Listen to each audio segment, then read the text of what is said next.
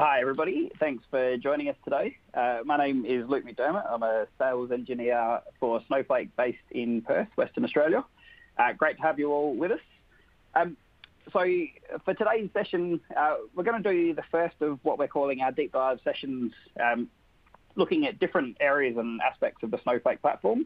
Um, so hopefully a lot of the people in the session today have uh, seen a little bit about Snowflake and potentially uh, attended one of our earlier uh, webinars. And so for today's session, what I really wanted to drill into is uh, what we do from an architecture perspective within Snowflake um, to facilitate really simplifying the data management process. And, and really that covers a couple of things around uh, the way that we can ingest and store data, um, and then some of the smarts that are built into both our data and our services layer um, to facilitate a lot of the features and functionality that we have as a platform. Um, really with the view to show you how Snowflake can simplify what you potentially currently do from a, a DBA and data management perspective.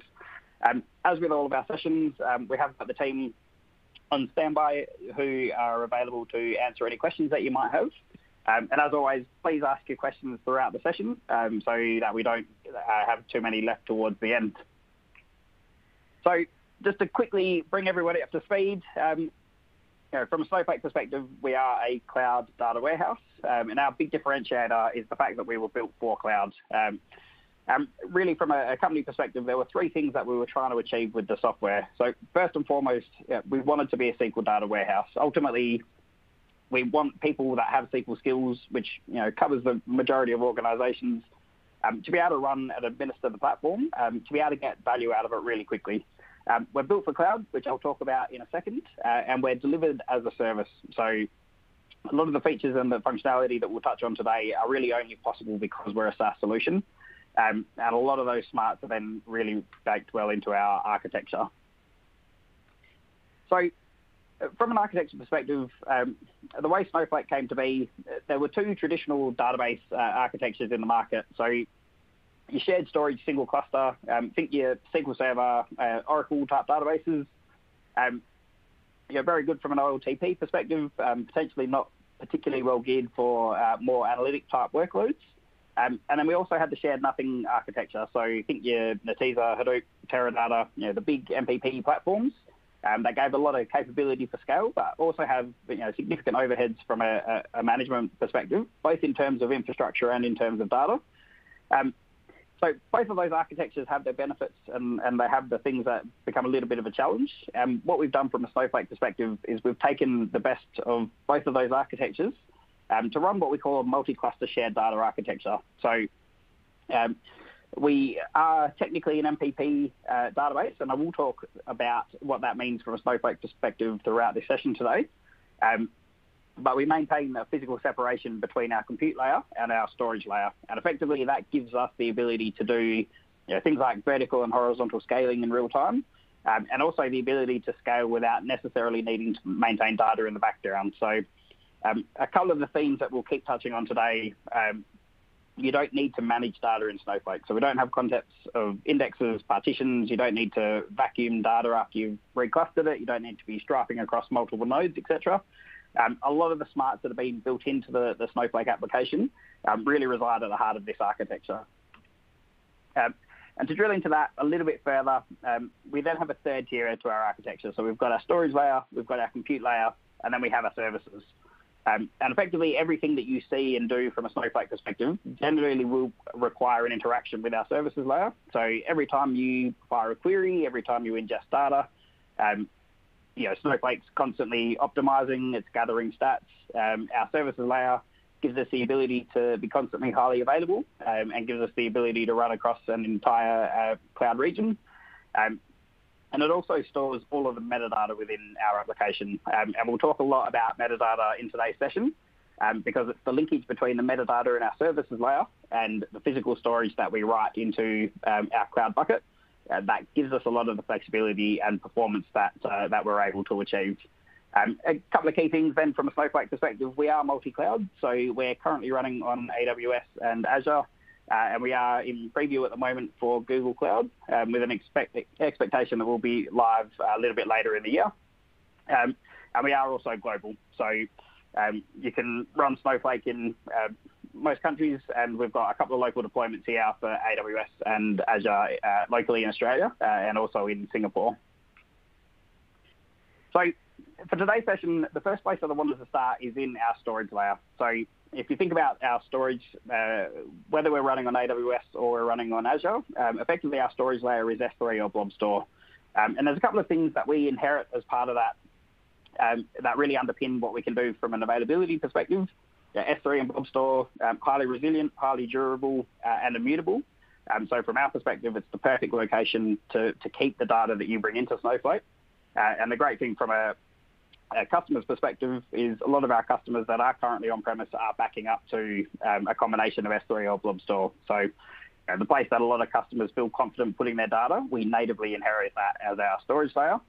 Um, and one of the key things then from a Snowflake perspective um, is we've got the ability to natively ingest any type of data, whether that's structured data or semi-structured. Um, and so from a, a flexibility perspective, um, it doesn't matter if you've got, say, weblog data or IoT sensor data that might be in JSON, XML, Avro, Parquet, ORC, one of these types of data, um, or whether you've just got your stock standard database data, you know, structured tables and rows.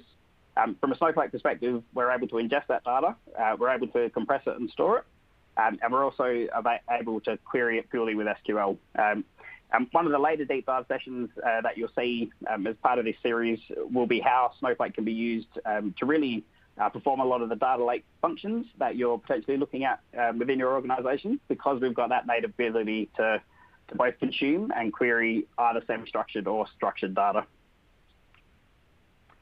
So from a, a, logical perspective, before we dive too far under the hood, um, Snowflake as an application is relatively straightforward. And, and one of the great things about that, regardless of which platform you're potentially coming from in the database space, um, a lot of what you see and interact with in Snowflake will look very familiar to you. So we have the concept of an account. So an account is effectively your deployment within a region. Um, so if you're deployed on AWS or Azure, you'd have your own URL.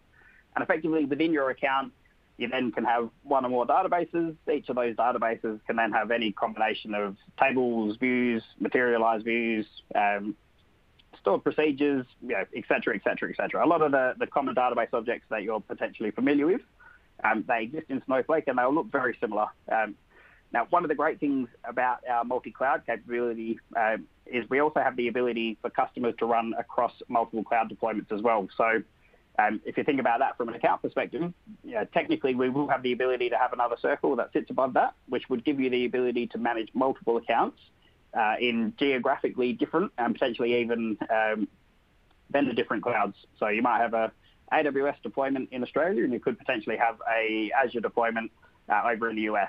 Um, and from a Snowflake perspective, we're going to give you the capability to, to seamlessly replicate and move data between those deployments, all using our compressed and encrypted data. So the the simplest object to start with is obviously a table. So everything that you see from a data perspective in Snowflake will be stored in a table. Um, we'll talk a lot uh, as we go through today about what sits behind our tables. Um, but the important thing here is that when you're interacting with Snowflake, um, what you're interacting with will make complete sense to anybody that's ever seen the database before. So important both in terms of you know, defining your, your database schemas. Um, so all of our DDL, DML, uh, and transactional SQL in Snowflake is uh, ANSI SQL compliant. Um, so it is going to be very familiar. Um, but what you won't see when you're interacting with Snowflake is then all of the smarts that's built in between our services layer and then what sits behind the scenes. Um, so there's a lot of metadata that we gather throughout, and you'll see there's an example here where as you're browsing through your database, we can give you some of those high-level stats, um, and then there's a lot more stats that we automatically gather in the background uh, that'll really start to underpin our performance. Um, and a lot of that is based around what we call a Snowflake FDN file, um, which is our, our uh, multi-partition, uh, sorry, micro-partition that sits in our S3 bucket. Uh, so from a, a, storage perspective, whenever you ingest data into Snowflake, there's actually a lot that happens in the background. So, and I'll, I'll go through and demo this in a second. Effectively, you ingest data into Snowflake using what we call our copy into command. And effectively, what happens is as that data is ingested, um, we're actually reorganizing it into our proprietary FDN files. Um, we're optimizing them, we're compressing them, and we're storing them in a columnar format. Um, so one of the key things here is even though we're using these FDN files in our storage layer, uh, no one can ever get to our storage layer. So one of the important security measures that we have in place, the only way you can ever see data in Snowflake is through your services layer, um, because that's where a lot of the decryption happens. Um, so even though we're storing those physical FDN files in our S3 or blob store bucket, you will need an account to be able to interpret that data. And that's one of the, the many security measures that we have in place. Um, and the important thing uh, from a, a, management perspective is Snowflake's taking care of everything as part of that ingestion. So we're, we're organizing that data, we're writing the files, we're building out a file structure to sit behind your table, um, we achieve you know, really good rates of compression. So you know, we generally see at least four to six times compression. And one of the things we love to tell our customers is generally just storing in your data in Snowflake will make it cheaper. Um, but then two more important things that we do is we're constantly maintaining our metadata uh, and we gather statistics on every single DML operation that happens in the platform. So uh, you won't see a lot of the cumbersome DBA type activities you see in other platforms where you manually have to go and gather stats or you, you manually have to rebuild um, certain things in the background. Uh, Snowflake is constantly taking care of that uh, for you. Um, so when we actually get into our physical storage layer, effectively we've got lots of these FDN files sitting in our S3 or our uh, blob store bucket. Um, and effectively our micro partitions uh, directly link back to a table. So it gives us the ability to be constantly writing uh, compressed data into our uh, storage bucket, um, and it gives us the ability to maintain the fine-grained horizontal and vertical pruning, um, which gives us index-like functionality without you as a customer ever actually having to build it. Um, and that's one of the really important points here. There's a lot built into um, the way that we both build our FDN files and the way that we gather the stats for those. Um, that means that Snowflake's automatically indexing itself. Um, so from a performance perspective, generally once you ingest data into Snowflake, it's already going to be performant based on the way that we're constantly gathering uh, those details. Um, and the other important uh, key attribute there is because we're writing into that S3 or blob store bucket, it's immutable. So um, we can't accidentally lose data out of S3 and blob store. Um, and the fact that it's immutable actually underpins a lot of the other features that we're actually going to talk about today as well. So including things like our time travel and zero copy cloning, um, we rely on the immutability of our storage layer to achieve those types of functions. Um, so again, really good balance between um, some smarts within Snowflake, but then also just leveraging the key features um, of cloud technology. Um, and so as part of writing those micro partitions, um, there's a few things that are actually happening. and the most important one is Snowflake's uh, automatically gathering stats and metadata not just about the data that you're writing in, but also about those physical micro partitions that we're writing into the blob store. And effectively, that covers things like uh, table metadata, so the size of your table, both in terms of um, you know, bytes and rows, um, but also any references and table versions. And we'll talk about table versioning as we drill into our um, time travel capability. Um, but then also within our individual micro-partitions themselves, we are also maintaining things like the range of values, um, the number of distinct values, and things like min-maxes. Um, and effectively what that gives us is a zone map of your data. So from a Snowflake perspective, the reason you never actually have to go through a process to index your data is because every time a DML operation happens, Snowflake's automatically doing all of this work in the background. Um, there's a lot of platforms that talk about you know, simple to manage. The, the reality is from a Snowflake perspective, um, every time you ingest a record of data, all of these um, stat type operations happen automatically in the background. And as we go through and, and we demo, you'll see it's also super quick. Um, and effectively, we then split into two types of storage that we maintain. Um, so we mentioned we have a, a three-tier uh, architecture. So in our global services layer, um, we effectively maintain all of the stats of those FDN files um, which gives Snowflake the ability to do things like query optimization and pruning. So every time you write a query, when that query is requesting data out of our S3 or blob store bucket, it will use those stats and that metadata um, to effectively prune down to the individual files that it needs to return a, a value. Um, the other types of, of, metadata that we maintain um, are things like versioning. Um, so when we talk about the, the time travel and zero copy cloning, that relies on our services layer constantly gathering the stats and maintaining a link for our metadata, um, which is effectively the reference to the physical file. So when we talk about a table in Snowflake, a table is a metadata object that will point to one or more uh, micro partition files. Um, and effectively, the, it's the metadata that really underpins a lot of what we can achieve from a performance perspective. So you know, we've got some of the best uh, database minds on the planet that have written our application. So things like query optimization are super effective.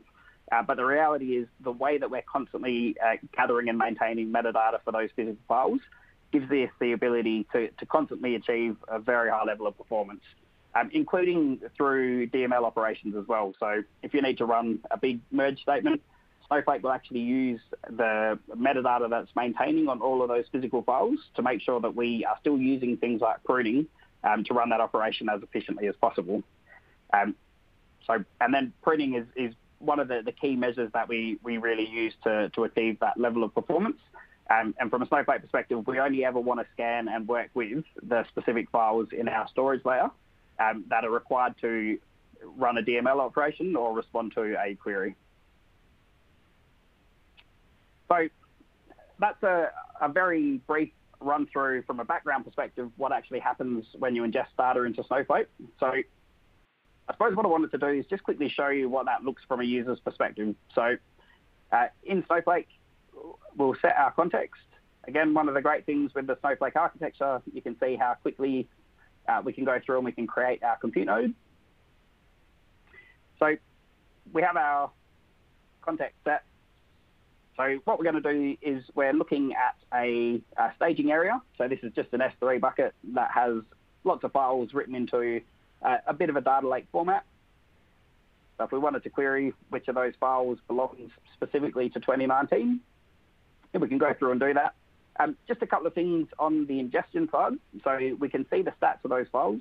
Uh, what's important here is we can actually see the MD5 value for that file. Um, one of the other brilliant things that our services layer will do is we'll keep a record of that MD5 hash. So when we ingest data out of that S3 bucket, um, Snowflake's actually got a reference in our services layer that will make sure that we don't re-ingest the same file using that MD5 hash value. Um, it's one of the protections that we build in around the data loading process to make sure that we're not constantly duplicating data as we're ingesting it. So I mentioned before, the way that we get data into Snowflake is we run a simple command called copy into. So we're going to copy into our trips table from our trips bucket, uh, the 2019 subfolder. And so as we run that operation, you'll see that that ticks away, and we can see that we've loaded 5 million rows, and we've loaded that in 4.29 seconds. Um, yeah, everybody that works at Snowflake loves to demo the platform, uh, because the reality is we get a brilliant level of performance. Um, one of the reasons we like this deep dive session, it's always good to cover in that 4.29 seconds, we've ingested the data from an external S3 bucket. Uh, we have compressed it. We have reorganized it into our Snowflake FDN micro partition files.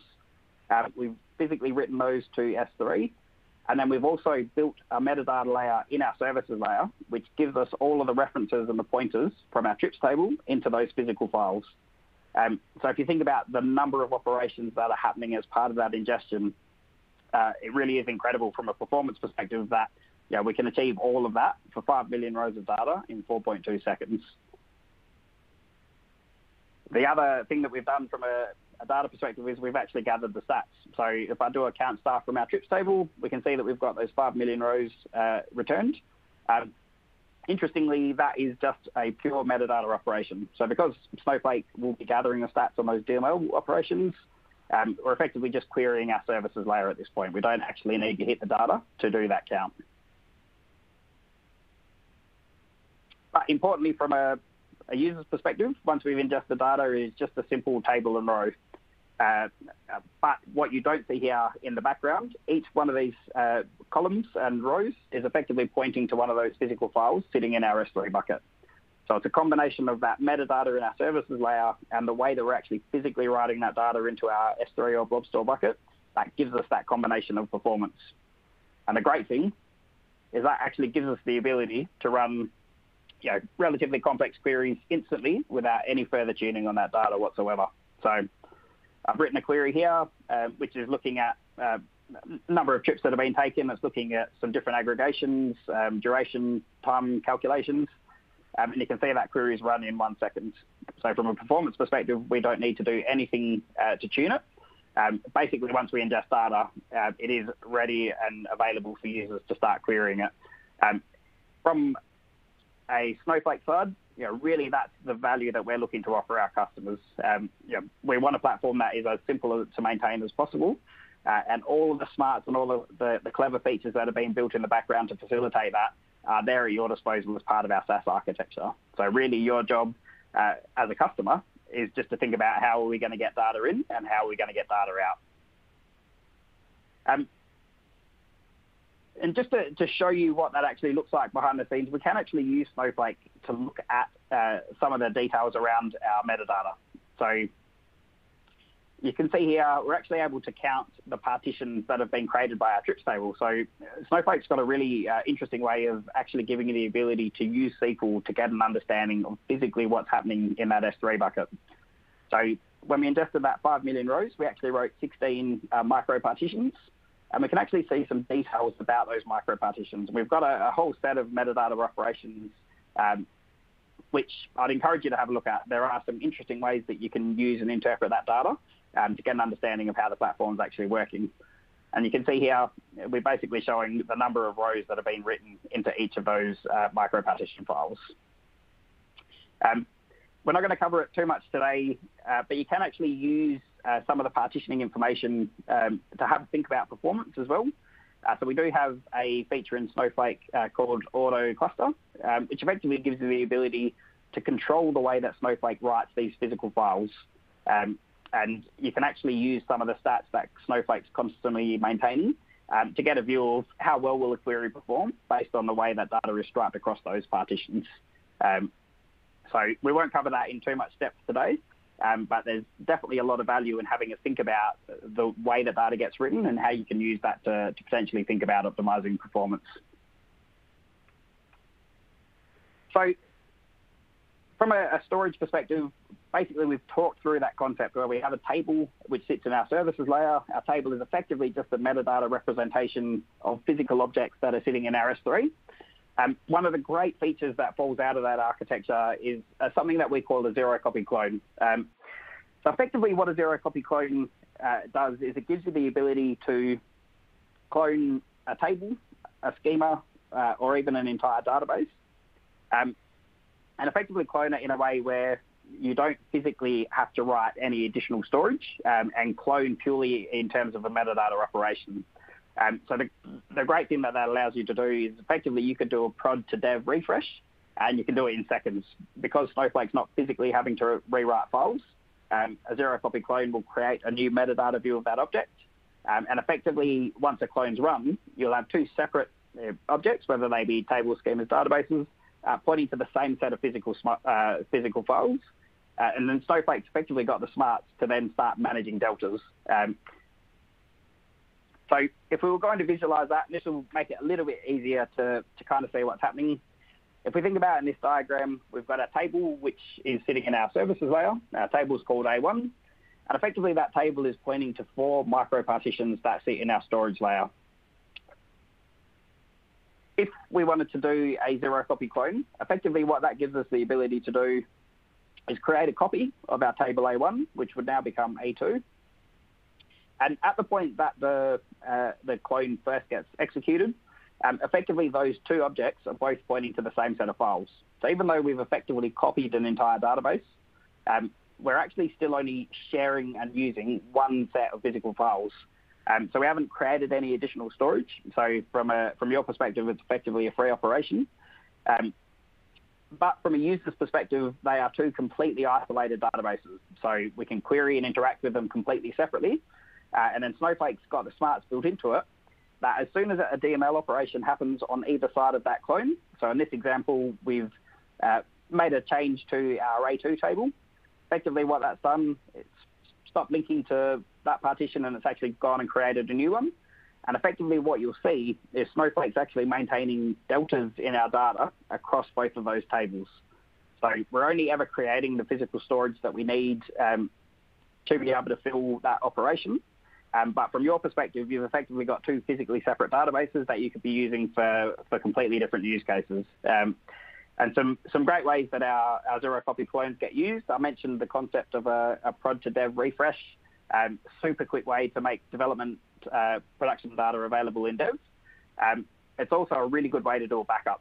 So our zero copy clones are fully auditable, um, and as long as you're not you know, modifying or deleting your historic data, um, effectively you can be using zero copy clones to create a series of free backups. Um, super efficient and effectively know, free from a, both a storage and a compute perspective. Um, so to give you a bit of a feel for, for what that clone operation looks like, um, we'll, we'll, go through a couple of examples here.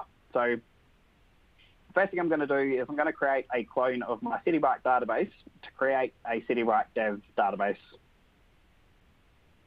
So I'll run that operation. I can see it's only taken a few seconds, and if I refresh my metadata over here, you can see that we've actually got now two physically separate uh, databases. So what's interesting is we can see our trips table at the moment has got 100 meg of data in it. If I look into our Citibike database, that 100 meg of storage uh, is effectively the same storage that's being shared across those databases. So at this point, we haven't physically written any additional storage into our S3. Um, so effectively, we've got our development environment. It's fresh with production data, uh, but we haven't paid any more money at this point to get there. Um, and because we're not writing that additional storage, uh, it's super cheap. So what I'm going to do here is just use an example of, of Snowflake scaling. So we're going to scale our warehouse up and we're going to load the rest of our trips files uh, into our trips table. So if you recall, we had only loaded our 2019 data. And we can see, again, really good illustration of performance from a Snowflake perspective, you know, 0.1 of a second to scale up, 9 seconds, and we've ingested 71 million rows in this example, and then 0.2 of a second to scale it back down to a small. Uh, and again, if you think about the fact that we have that per second billing capability, um, it gives you that linear scaling, and effectively we're paying the same amount for that operation. So if I do a count of that table, we can see that our trips table now has got 76 million rows. Um, and so what we can do here is actually compare our trips table in prod to our trips table in dev. So if we do a count star from both of those tables, what you'll see is our production table has got 76 million rows. Our development table has only got 5 million rows. Because we haven't physically altered those files, um, those 5 million rows and that storage will actually still be getting shared with our production data. So whether that is a development operation or whether we're doing that from a backup perspective, those 5 million rows, um, we haven't physically created any additional storage to keep them. We've used that zero copy clone and the smarts built into our services and our metadata layer to effectively retain that data um, and keep it available. And so we can now effectively do anything that we like on either side um, of our clone, and effectively we're protected from, from breaking another environment. Um, one of the, the areas that people do get concerned when we drill into this level of detail is, um, you know, what if I accidentally break a partition from the source of the clone or from the, the target of the clone? Um, the important thing to remember happens, you'll never have the ability to break either side. So effectively, they just become two separate databases. Snowflake will need do what it needs to do in the background um, to effectively give you that level of control and, and, maintenance over it. So you don't really need to worry about you know, the potential to get in and, and accidentally break something. Um, so we've gone in, we've deleted a number of rows. So again, if I do our count, so even after our delete statement, our production table, we've deleted 50 million rows. Um, again, we still haven't deleted or changed anything in our, our clone environment. Um, and this is the way that zero copy clone you know, gives you that flexibility. Um, gives you the ability to isolate those environments, but not physically pay for any additional storage.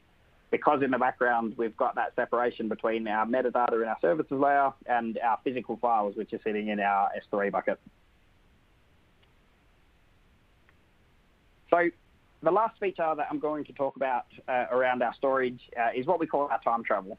So in Snowflake, yeah, first and foremost, we understand the importance and uh, you know the, the resilience that's required to house people's data in the cloud. Um, and we have built in a, a, number of ways that we you know, protect customers from any issues around you know, things like data corruption, data loss.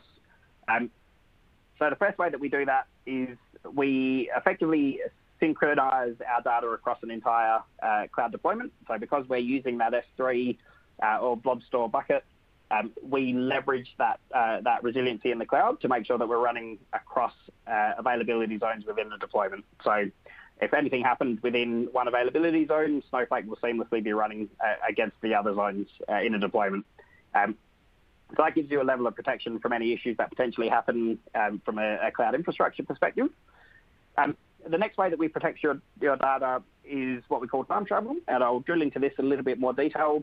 Um, but effectively, it gives you the ability to look at your data at any point in time up to a period of 90 days ago.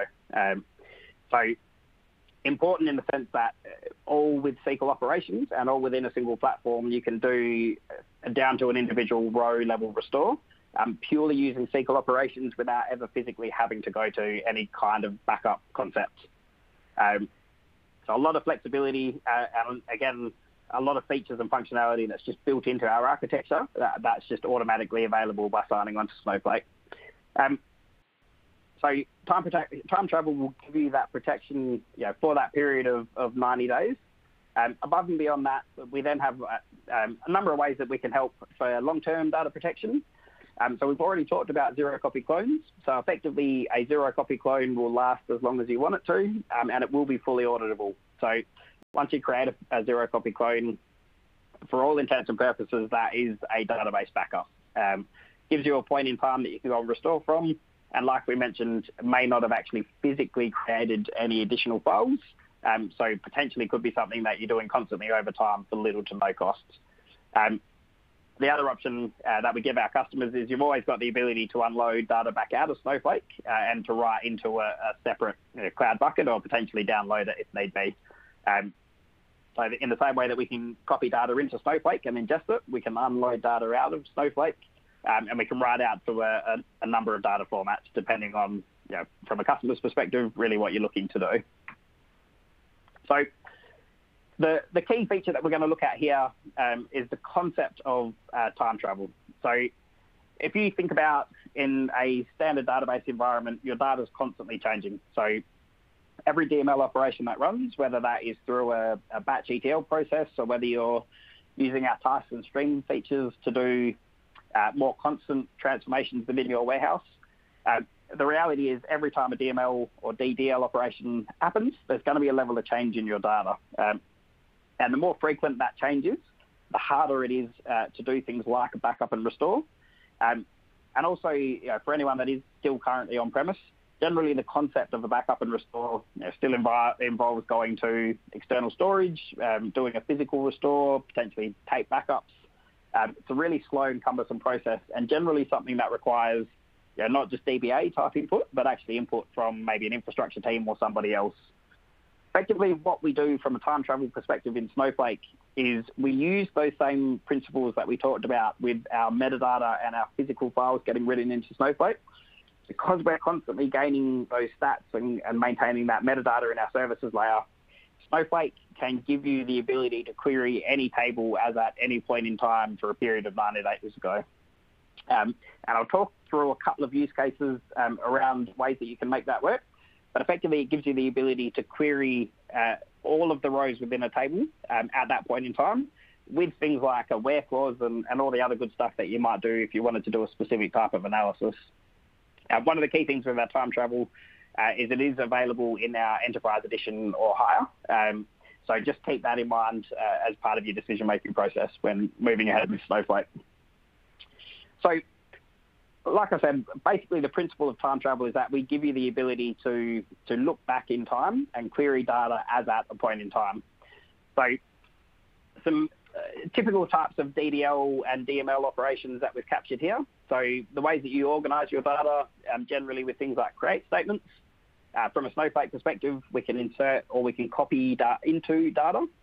Um, and then what you'll see here, this blue box in the middle, we talk about the ability to query data. So generally, if you think about SQL, you can do a select star from a table. Um, one of the, the things that our time travel gives us the ability to do is use clauses like at or before. So select star from a table at 5 o'clock yesterday because our ETL broke last night and it corrupted our table.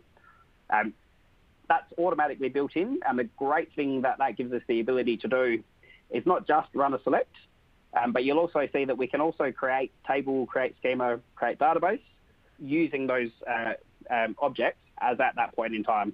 So effectively, we can restore an entire table, an entire schema, or an entire database um, using that same concept and querying that database as at that point in time.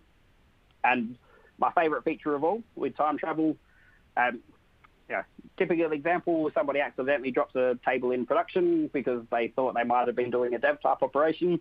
Um, we have a feature in Snowflake called undrop. So effectively using that same concept, um, we can undrop an object and effectively automatically bring it back without any concept of a physical restore of data. Um, there's a, a, lot of different ways that you can use uh, time travel. Uh, generally, one of the things I hate telling customers is to go and look at our documentation. This is definitely an example of where I would encourage you to do some reading. Um, we do hear a lot of anecdotes for customers early in their journey that, um, oh, we went through a really complicated backup and restore process. And it's like, well, you don't actually need to. Um, pretty much everything you'd be looking to do from a restore perspective um, should just be ready, readily available at your fingertips. Um, there's some examples here of how we can use concepts like show me a table as at a point in time, um, show me a table five minutes ago, um, or show me a table before a specific query was executed. And that's a good example of we might want to see what a table looked like before somebody ran a big update statement or a big delete statement. Um, because our query IDs in Snowflake are unique, you can effectively look the query ID up and use that as a way to go back and do a restore. Um, and similarly, on the, the concept of a, a drop and undrop, um, the drop operation effectively only drops the metadata in Snowflake. It doesn't physically drop our, our storage out of our S3 or blob store bucket. And again, the main reason for that is that our storage is immutable. So that operation won't happen at the same time. Um, the great thing from your perspective, if you accidentally uh, drop an object, you know, in Snowflake, we've got that simple command to do an undrop, and that'll automatically restore that object with that link back to those physical uh, micropartition files sitting in our, our blob store. So we'll talk through a, a couple of examples here uh, around that time travel concept. So if we do a, a count star on that object, we can see that we've got those 24 million rows if we drop that table and we try and do a count star, we can see that that object doesn't exist. So in the world that I came from, that tended to be a problem. Uh, lots of emails, lots of calls, lots of angry people. In Snowflake, from our perspective, it is a simple concept of doing an undrop. And then if I do a, a select count star from that table, um, we can see that that result has come back. Um, so that's a really simple example um, of a way that we can uh, do that concept of a drop and undrop. Um, now what we'll do here is we'll go back and we'll insert some more data and we'll show you the concept of a uh, row level restore in Snowflake.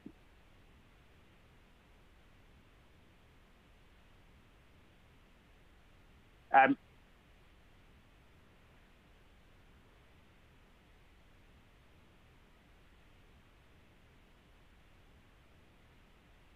So what we're going to do is we're going to just delete all of the data out of our table. So I'm going to write a very simple delete statement. We can see that we've deleted those 24 million rows. And so if we do a select count star from that table now, we can see that we've got nothing in it. So from a Snowflake perspective, what we really want to do is say, let's isolate the query that caused that data to be dropped. And so we looked at a couple of ways that we can query our query history. This is another example where we can actually say, show me the last query that started with the word delete. So a really simple way of looking that, uh, that object up. We've written that into a session variable. And what we can see is we can actually query the same trips table at two different points in time using our time travel. So really simple operation here. So we're doing a count star from our trips table, which is our current state, and that is our zero rows. We can do a count star from our trips table before the statement that ran against the table was that query ID. So we can see before we deleted all the rows, we had 24 million rows of data there, and we can see that we've now got zero. Um, now, there's a, a, plethora of ways that we can look to do or restore in Snowflake, but this um, is one of my favorite ways because it pretty much uses only metadata operations. So we'll talk through each of them as we go. Um, so we have the concept here of using a zero copy clone. So what we're going to do, we're going to table called trips alt, which is going to be a clone of our trips table before we ran that statement. So effectively, a zero copy clone, um, we don't just run those over current data. We can also use a zero copy clone of a data set at a point in time. And again, because that's just a metadata operation, it's super quick. So 0.5, 0.5 of a second, um, we've effectively restored that data into a new table called trips alt. If we do a quick select star,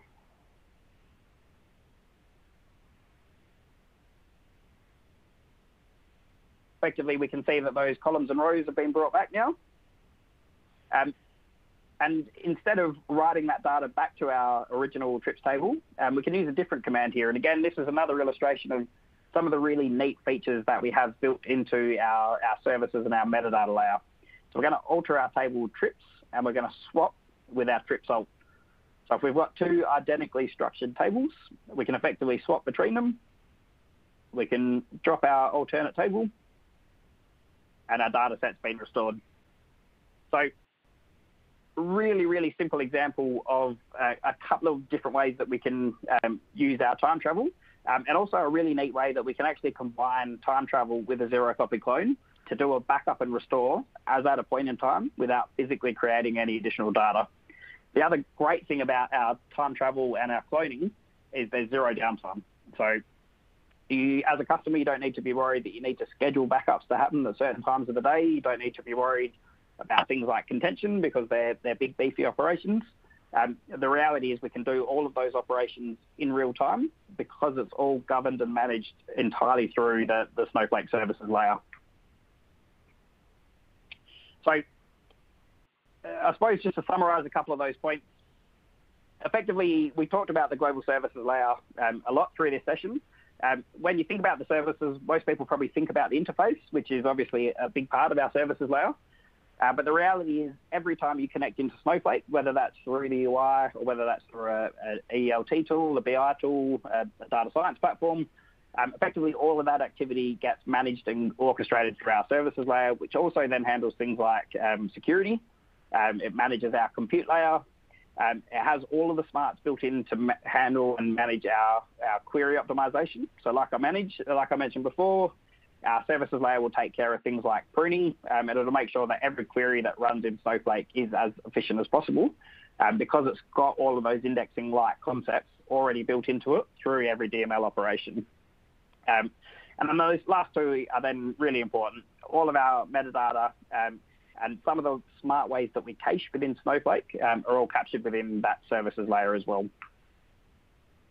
Um, the last point that I wanted to, to, quickly touch on is just a bit more detail around caching itself. So there's a few ways that we, we cache within Snowflake, uh, again, purely with the view that we want to make the platform as quickly as possible. So all of the metadata uh, that we've talked about through this session, you know, your tables, your columns, your reference pointers to those micro partitions, um, that gets cached in our, uh, our services layer uh, to make sure that things like query optimization and planning are as quick as humanly possible.